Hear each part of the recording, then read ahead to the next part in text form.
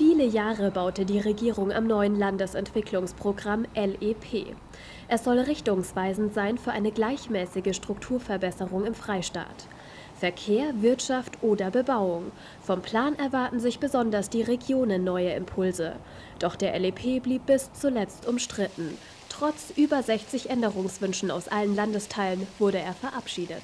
Und das Landesentwicklungsprogramm, wie es heute verabschiedet werden soll, äh, tritt eigentlich sehr, sehr viel von diesen Vorgaben in die Tonne. Das wird dazu führen, dass eher nach marktwirtschaftlichen Kriterien sich Bayern entwickelt. Das wird den äh, Randregionen, zu denen ich jetzt auch äh, den Bayerischen Wald zum Beispiel zähle, von dem ich komme, wird diesen schaden und es wird zu einem Überhitzen der zentralen Räume führen. Niemand außer der Staatsregierung will diesen Entwurf. Es wird kritisiert, dass die zentralen Orte nicht überarbeitet worden sind. Das haben wir in der Tat äh, angesichts der Zeit bis zum Ende der Legislaturperiode nicht mehr geschafft. Aber da ist eine Teilfortschreibung gleich zu Beginn der nächsten Legislaturperiode, also im Jahre 2014, vorgesehen. Es ist nicht definiert, dass die Schulen in Zukunft eine Bestandsgarantie haben. Es ist nicht garantiert, dass die erneuerbaren Energien zum Erfolg kommen. Es sind die Verkehrsanbindungen zu wenig garantiert. Es ist das schnelle Internet zu wenig garantiert. Es sind teilweise Willenserklärungen drin, aber zu wenig greifbare, konkrete Umsetzungsschritte. Und es ist auch zu wenig Landwirtschaft drin.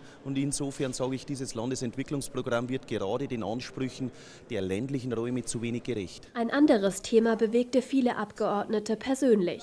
Sollen die sogenannten stillen Feiertage dem Partywunsch der Jugend entgegenkommen?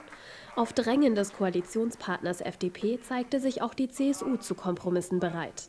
Das Reintanzen in den Feiertag sei für sie kein Sakrileg mehr. Also diese Diskussion jetzt äh, zwei Stunden hin oder her, vielleicht bin ich schon ein bisschen aus dem Alter raus, aber ähm, ich habe jetzt niemanden ge äh, bisher getroffen, der sagt, also diese zwei Stunden sind jetzt absolut äh, entscheidend, ähm, was das Mehr an Feiern angeht, aber auch die Frage, ob äh, jetzt damit ähm, die, der Schutz der stillen Tage äh, völlig den Bach runtergeht.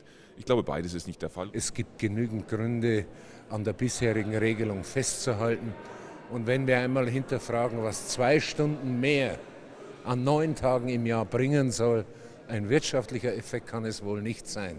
Das christsoziale Entgegenkommen bei den stillen Feiertagen ist offenbar gekoppelt mit einem Zugeständnis des Koalitionspartners FDP.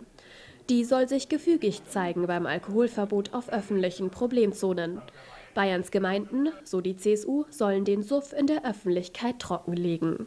Also das wissen wir doch spätestens seit der amerikanischen Prohibition, dass man mit Verboten diesem Problem des Alkoholmissbrauchs nicht äh, Herr wird.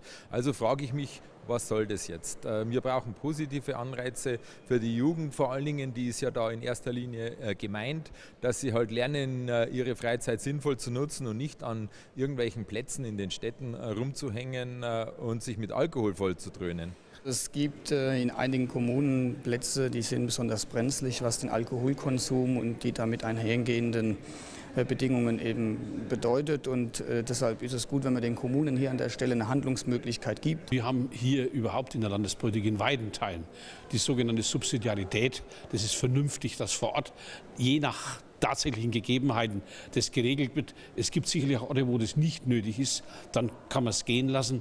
Und dort, wo es sinnvoll ist, soll man es halt machen, je nach Bedarf. Das ist auch gut eine Absprache mit den örtlichen Polizeikräften. Sowohl zu den stillen Feiertagen als auch zum Alkoholverbot in Problemzonen wurde die Abstimmung vertagt. Manche munkeln, entschieden wird erst nach der Landtagswahl im Herbst. Alle weiteren Informationen finden Sie bei uns im Internet auf tvbayernlive.de.